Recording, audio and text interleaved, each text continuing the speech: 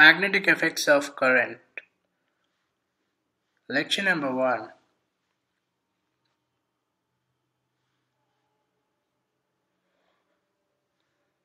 Coming to the introductory part, in this particular lecture, we will be dealing with the concept of magnetic field and magnetic field lines, the magnetic field due to a current carrying conductor, force on a current carrying conductor in a magnetic field, electric motor, electric generator, and the concept of electromagnetic induction, in short, EMI. So, let's start with the magnetic field and the field lines concept. Now, what is a magnetic field? A magnetic field is an effect caused due to moving electrons. Note that any stationary electron will develop an electric field only, but a moving electron will develop a magnetic field in addition to the electric field. And coming to field lines, field lines is just a visualization of the pathway of the magnetic field for any magnet piece. For example, if you consider a bar magnet on a piece of paper and if we draw few iron fillings around it and tap the paper, then we'll see the iron fillings will get arranged in a specific manner. This is the direction of the magnetic field lines. So for a better understanding, you can actually have a look at the images coming soon. So this image will give you a better idea of what I am actually talking about. And the image on the right shows the direction of the magnetic fields. Okay, which is from north to south externally. So coming to the magnetic field direction. So for any moving electron, the direction of the magnetic field is given by the right hand rule. So what does the right hand rule say? It says that if the thumb of the right hand is placed along the direction of the motion of the electron, then the direction of the magnetic field will be given by the direction of the curling of the four fingers of the right hand. Okay? So for a better understanding, please have a look at the following diagrams. Here, the thumb shows the direction of flow of the electrons and the curling of the fingers show the direction of the magnetic field around it. Okay? Now, let's study about the magnetic field due to current carrying conductor. So we know that any moving electron will generate a magnetic field. And a conductor carries a free electrons which is a fact. So for any conductor when it conducts a current that is when the free electrons move then a magnetic field gets developed around it. And this direction has already been shown before. Okay?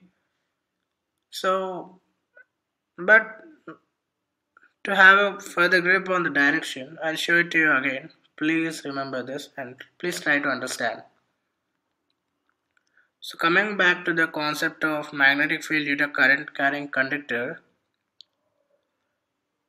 if I similarly have a conductor which is in an electric loop, for example, I repeat, if I have a conductor which is an electric loop, such as the following one,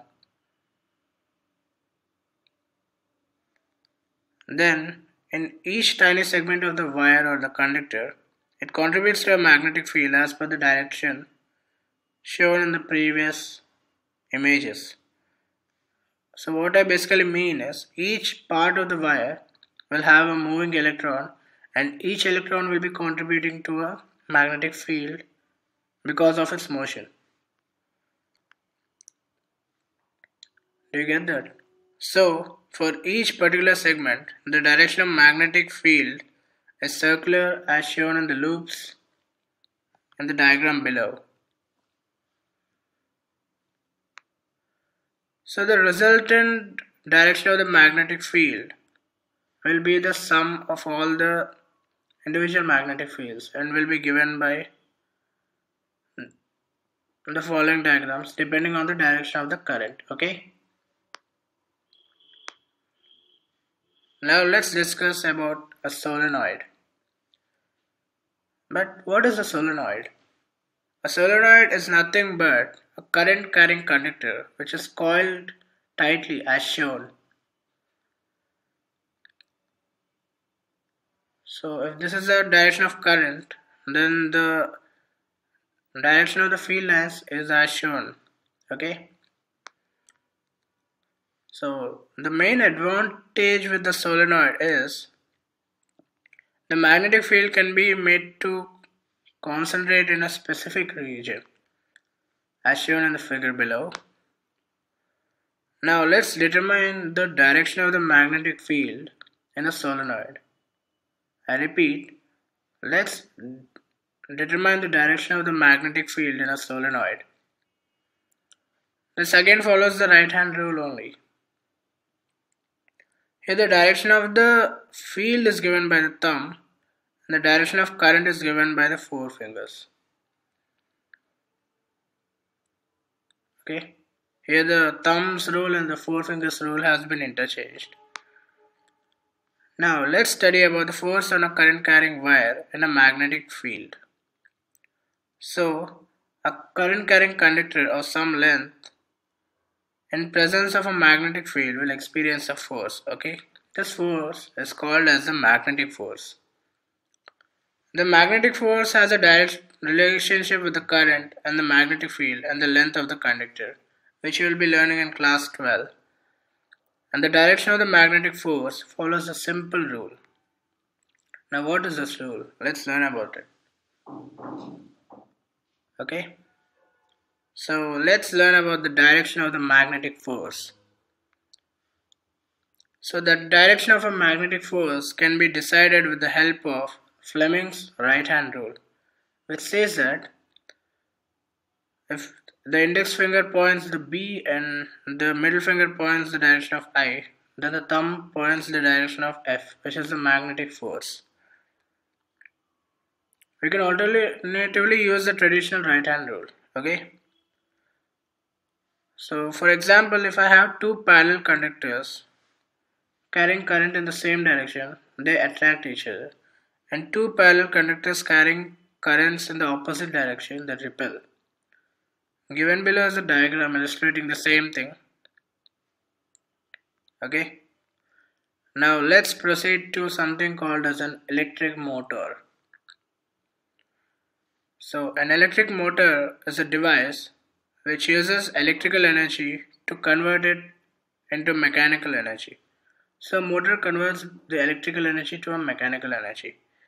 It is basically used in washing machines, grinders, etc. Now let's discuss about the working of motor. Fine. Now let me show you how it looks internally.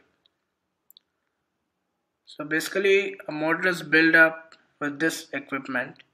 Please have a look at the text given below. Accordingly pause your video okay.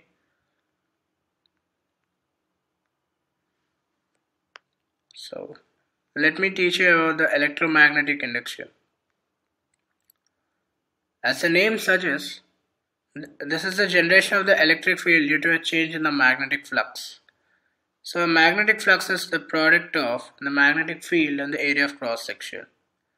So any change in the flux that is the magnetic field only or the area of cross section only or a change in both will lead to an induced electric field.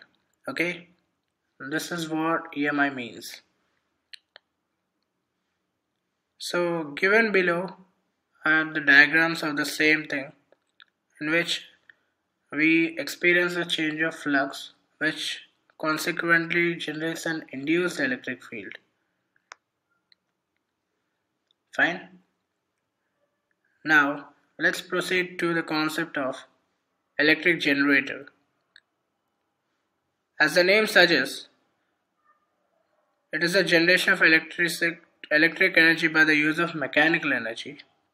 Here the mechanical energy is used in the form of rotating the shaft to generate a sinusoidal current with the help of two or more commutators or brushes. So given below is a diagram of an electric generator which uses mechanical energy to rotate the shaft to produce a sinusoidal current. Please read the text and accordingly pause your video. Fine?